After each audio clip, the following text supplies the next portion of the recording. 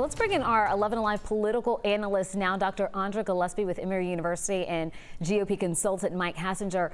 Let's keep talking about this pick. Now, Andra, when we're looking at Kamala Harris, what kind of impact do you think it will have on Democrats as they um, maybe rally around more behind Joe Biden? Or do you see some fractures there in terms of people who wanted other people to, to make it onto the ticket? I suspect that most Democratic voters are going to rally behind this ticket, even if they would have preferred a different candidate.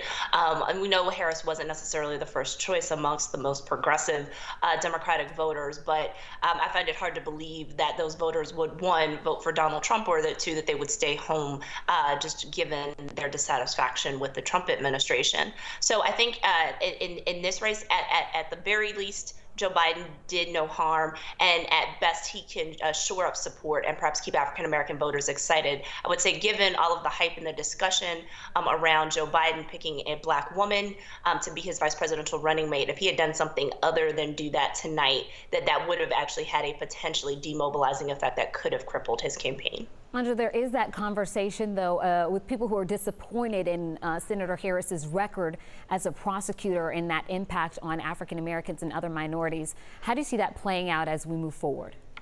Well, uh, you know, this is something that she's going to have to work on, and she's going to have to reach out to African American voters.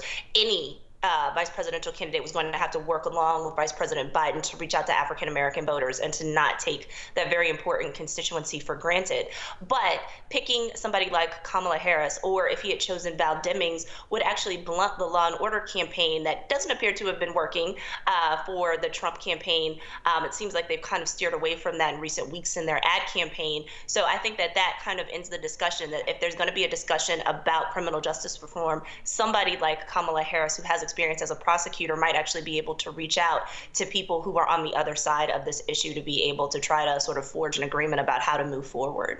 Mike, when we're looking at the response to this pick from the Republican side of things, we've already seen the nickname Phony Kamala come out. What are you thinking uh, we're going to see from the GOP in response to this pick? Oh, I think it's entirely predictable. Uh, they're going to start with uh, her record, uh, as Andre just mentioned, the uh, of, of uh, prosecuting vigorously uh, minor drug charges in California that disproportionately affected um, uh, African Americans and people of color. Uh, they're going to start uh, uh, trying to assign nicknames and to try to sort of pigeonhole in the voters' brains what they need to remember about Kamala Harris. Um, I don't know that it'll work. Um, this isn't 2016 anymore.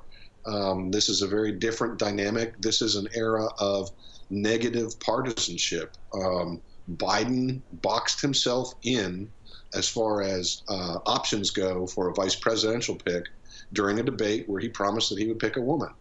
Um, and I, I, I'm going from memory here, but I want to say that the last poll taken before uh, Senator Harris dropped out of the presidential uh, race, she was polling in single digits, five, six, seven percent, something like that, among African American voters. So she wasn't the one who was exciting the voters, uh, uh, black voters, but black voters in South Carolina propelled Joe Biden back into the race, gave him a head of momentum, and he became the default nominee after the South Carolina primary. So it's not a question of black voters falling in line. It's a question of Joe Biden fulfilling his promise to the um, a, a, very important block of Democrat voters, and, and those are African Americans. Mike, I'm also seeing people online already talking about a vice presidential debate between Senator Kamala Harris and Vice President Mike Pence. What are you expecting as we see those two uh, matched up? I would expect um, Senator Harris to be uh, dynamic and come out swinging. And I would expect Mike Pence to be as boring as dry toast, which has sort of been his trademark. Um, which one plays well with more with the voters, we'll just have to see. All right, Andre and Mike, thank you so much. We'll check back in with you in just a little bit as well.